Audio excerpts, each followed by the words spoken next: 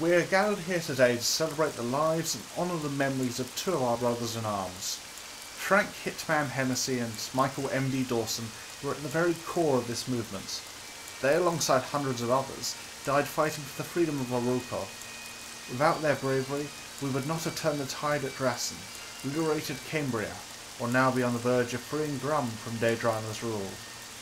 Heroics aside, we should also remember these men for who they were as individuals. Michael was an idealist. His highest goal was to help others.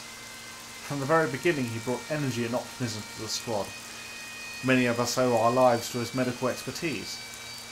It is tragic that his career was cut short before he could truly reach his prime.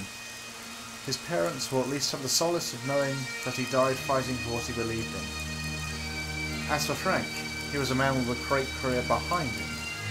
He wanted this to be his last tour of duty before retirement, fighting for the freedom of a foreign land. We've all benefited from his combat expertise, and some of us surely owe our lives to his quick reflexes and marksmanship. He was fun to work with too, bringing a laid-back attitude with his years of experience. There'll never quite be another hitman. But we must press on. Despite the grief we all feel, our concern should be pragmatic. We're in the middle of an assault on an enemy-held city. Deidranna is surely sending reinforcements as we speak. There are citizens here who wish to fight and they must be trained. This must be attended to. All that can be done now for our comrades is to ensure their bodies are not dishonoured by the crows. Yes?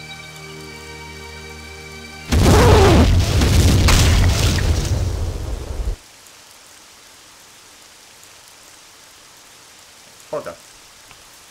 Um, uh, uh, yes, um, uh, Wolf, if you Okay. could just... Yeah, Michael seems to have blown I'm up on it. successfully, but, uh, Hitman, you know, not quite so much. Ooh, uh, oh, good job, just patch yourself up. Right, now that funeral went as well as be expected. Back to work, lads.